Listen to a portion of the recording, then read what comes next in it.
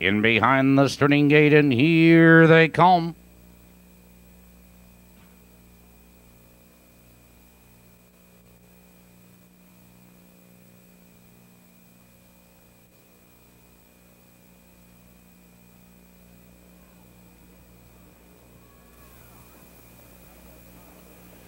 They're off. On the outside, it's Woodhill Ray going for the lead. Giant Surfer. They bank into the first turn, and Giant Surfer shows the early speed. It's Fitch Mea Kahlua as he slips into second. Woodhill Ray now drops in third. It's in the black. Fourth by two lengths. Where's the dock? Followed by Unravel Gambino and Come On Johnny.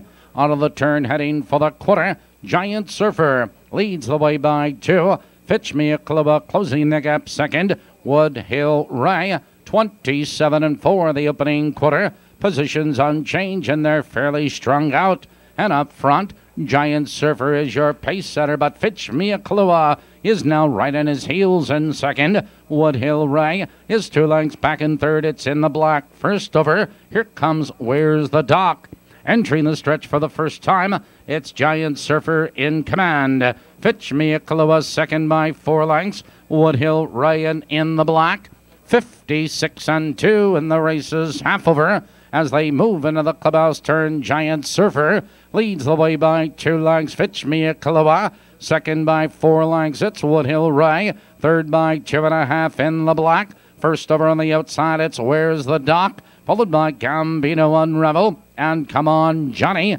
Now they move into the backstretch, driving for the third quarter. And Giant Surfer is in command. 125 and 2. Now they step into the far turn. It's Giant Surfer, two on top. Fitch Mea Kahlua has his sights on the leader second, followed by Woodhill Ray. Top of the stretch, Giant Surfer. Fitch Mea Kahlua is on the move. Here they come down the stretch. It's Giant Surfer with the lead. Fitch Mea Kahlua is charging. It's Fitch Mea Kahlua, fastest of all. Giant Surfer, Woodhill Ray.